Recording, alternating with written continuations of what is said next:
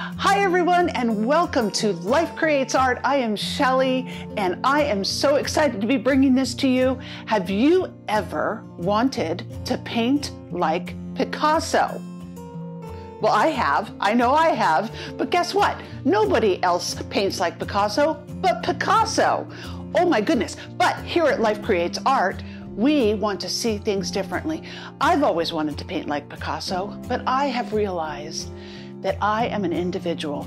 And that's what I want to help you see. That's what this channel is all about. Helping you see that you are an individual. You are not Picasso. I am not Picasso. But I have always tried to see things a little bit differently and bring that into my art. And so I'm going to show you a little exercise that I do in my art to help me sort of skew things and see things a little bit differently. It's not something I do all the time, but it is an exercise I do to help me to sort of uh, do portraits and skew things just to give me a little bit of a practice. So I'm going to show you how to do that and we're going to get started. So we're going to use two models today. First one is going to be Frida Kahlo. And the next one, I just Googled woman in a chair and I found this absolutely delicious photo of this woman sitting in a chair. I love the pose. And we are going to use scissors and we're going to be cutting up these pictures. And I'm really excited about it. And in, we're going to be drawing these once we get them all cut up. And then we're going to put it on a canvas. So we're going to follow through. We're going to paint it, but not on this video. That's going to be in the next video. So really excited about this to help you see things differently. Our vision is to see and look at something that is uh, a face and we see two eyes, we see a nose, we see ears here, we see a mouth here, but I want to help you to look at something, to look at a flower and see it sort of deconstructed. And the way that Picasso used to see things, you know how he put a nose up here and he put an ear down here. I want you to sort of have that vision to be able to create and be free to create the way that you want to. And a lot of that has to do with your practice in sketching too, which I'm also going to be talking a lot about sketching in future videos. Let's get started on this right away. Okay. All right, everyone. So here we are. We're going to start with Frida.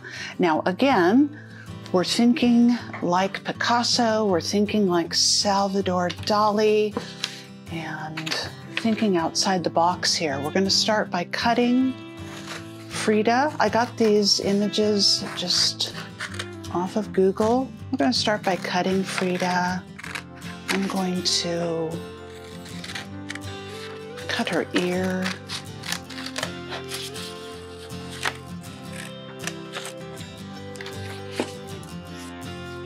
Her earring. I'm going to set that aside.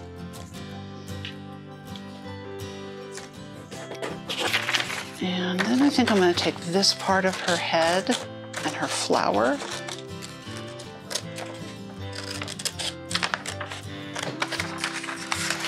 And it's all up to you the way that you cut your images. It really is up to you. And that's the creative part is you cut them the way that you imagine, however you want. It's not really like a puzzle, but just use your imagination. I was never good at puzzles when I was a kid.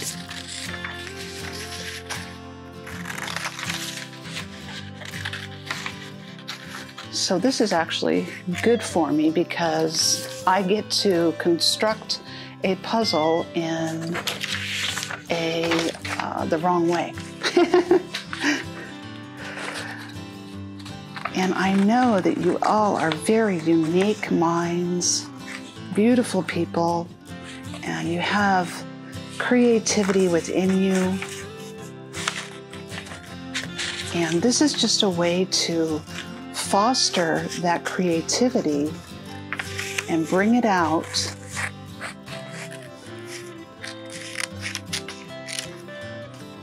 See, I'm cutting her eye and part of, I'm going to show you on the white paper if you can't see it. So part of her eye and part of her head and her cheek. I'm going to put these on the white paper actually. I'm so sorry. Her ear.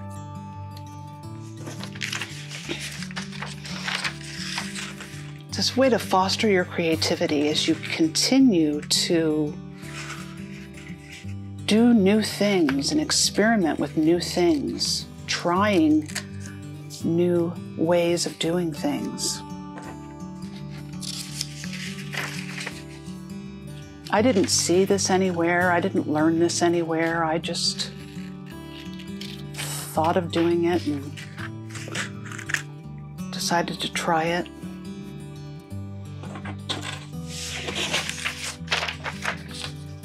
It's just an exercise I use for myself.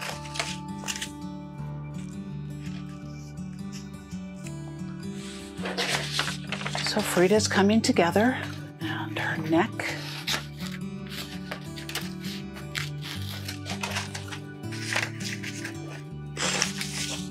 And not everything is going to necessarily look exactly the same.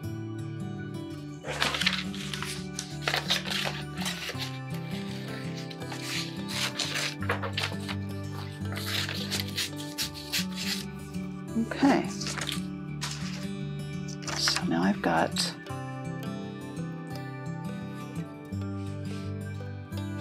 her ear, got part of her face, I've got her mouth over here.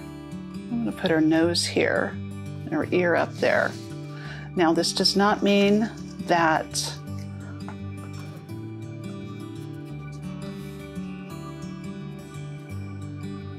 So this is kind of how I'm going to do it. So we kind of construct it like this, and then you fill in the blanks. So her neck is going to be over here. And sometimes you lose track of what you've got here. but that's okay. That's okay. That's part of it. All right. So now what I'm going to do is I'm going to take some glue and I'm going to glue this down. And we're going to start on our next piece. All right, everyone. So now we're going to be cutting up this beautiful young lady here, but I am excited about this one because there's a lot of different things that we can do here. I'm going to take her leg.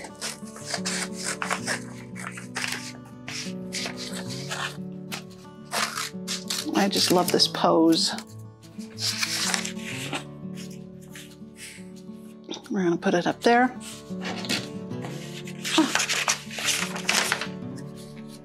And I'm to take her arm next.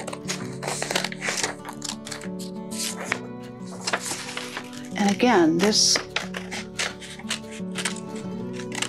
is all a part of just having a lot of fun. Do you know that it is medically proven that doing art just the action of doing art calms you and releases different types of hormones in your system that calms your body down helps you to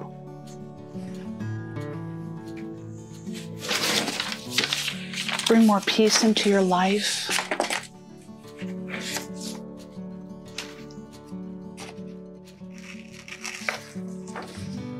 And they say that just doing 10 minutes a day of some type of art will actually be healthy, almost like exercising. Just 10 minutes a day.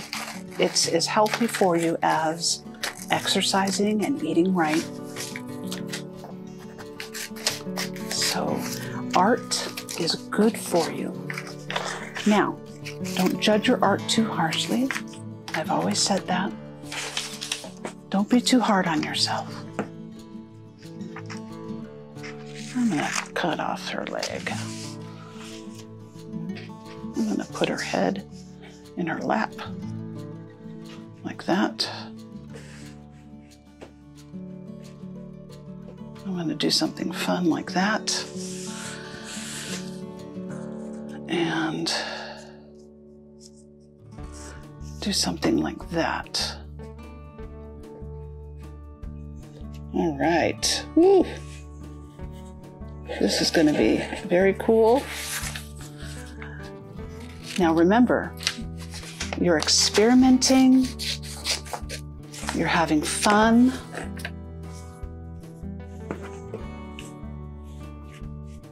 Do not judge yourself, just enjoy and have a good time. All right, I'm gonna glue that down and then we're gonna get these drawn onto canvas. And then we're gonna decide which one we're gonna paint. All right. Okay, so we are back now. For the sake of time, normally I would sketch this out with a pencil or some charcoal or something like that. But today I'm going to be just using my black paint and uh, sketching it out with black paint. So there's not a whole lot of room for what I call quote unquote error, but really in art, I don't consider a whole lot of error because, again, this is fun and art. I don't think that there's a lot of mistakes. I think that in mistakes, you just work through them, just like in life. You make a mistake in art and you just keep going, just like in life. You make a mistake and you pick yourself up and you brush yourself off and you keep going and you keep working your way through it, just like in art. There's a lot of life lessons in art that you will find.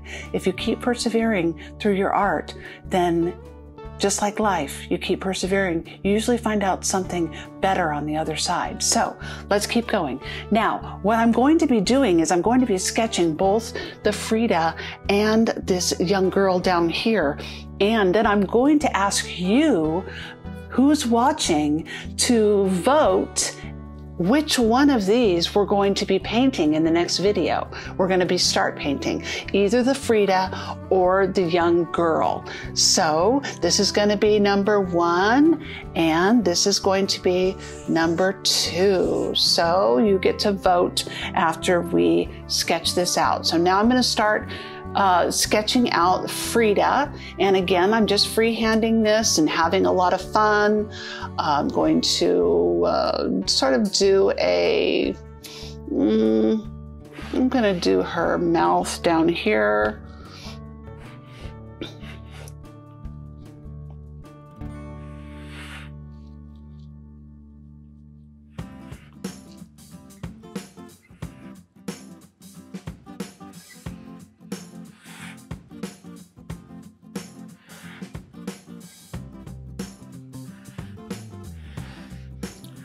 Again, I don't really worry about uh, what things look like in the natural world.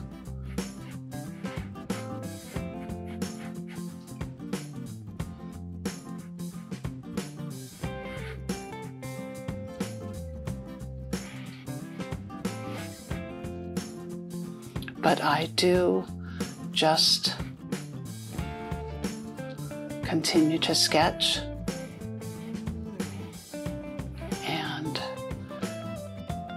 I'm going to put her other eye up here. You see up here is her other eye.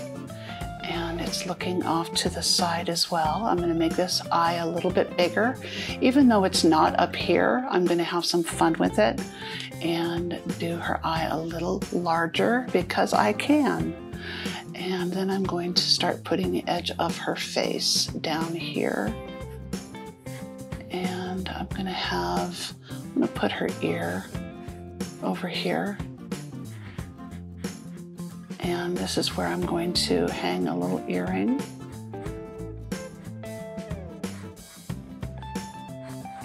Now, normally I would have a little more detail because I would use a pencil, but we don't have that because I, like I said, I wanted to be a little more, wanted to have a better visual for you. And I'm gonna continue another eyebrow down here just because I can. All right, now I'm going to have the other part of her face here. And that'll be part of her face down here. All right, now she has this beautiful hair.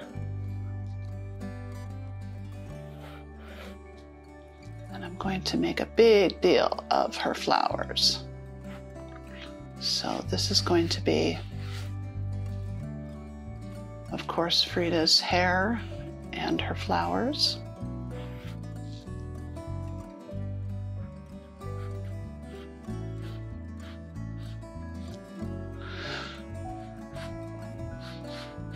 Now remember, we're seeing things differently. We are venturing to paint things differently than we normally do. This ear is going to be square instead of round.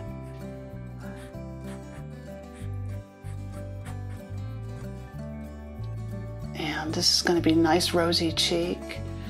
And of course, I'm going to have her mustache there. But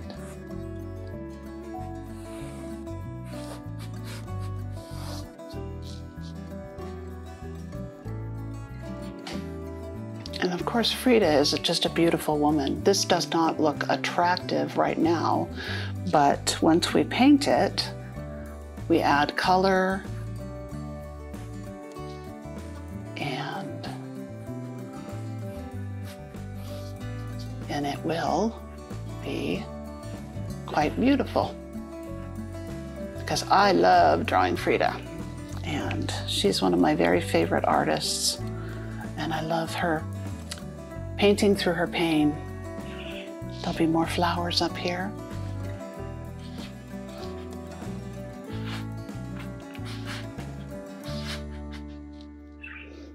I'll just fill this in with all these flowers.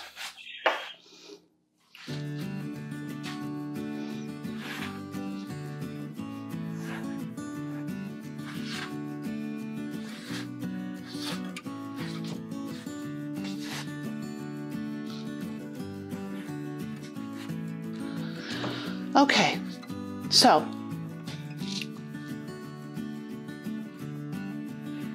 this is an exercise, like I said, that I do to just sketch things out and see things a little bit differently. Now I'm going to do the woman seated in the chair. So this was my Frida, this was number one, and now we're going to do number two the woman seated in the chair. So I'm going to start with her arm up here, and her hand is kind of folded over.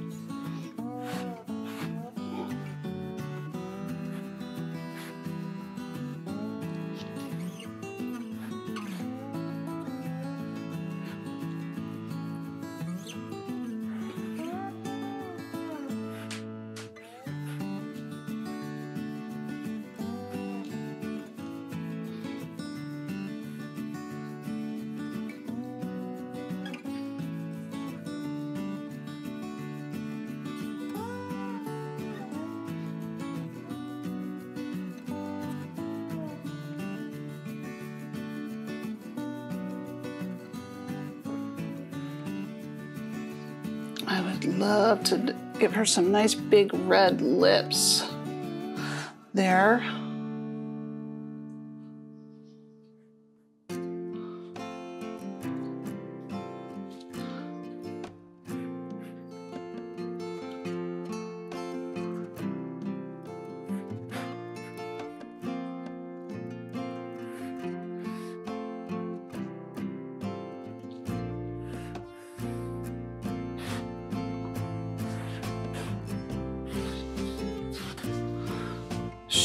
Here. so it's really good just to let your mind go free here and allow yourself to see things differently. I'm going to bring this down a little further.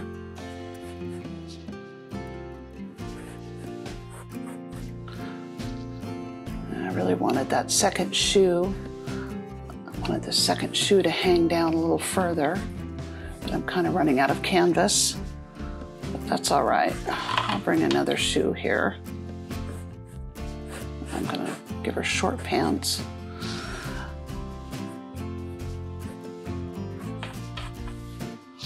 All right, so I'm sketching with black paint, which is fine. You can do it too. And it's better to sketch with a pencil though.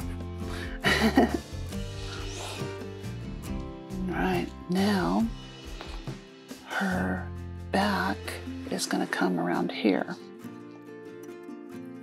And she's going to come around here. I'm going to give her her little rear end right here.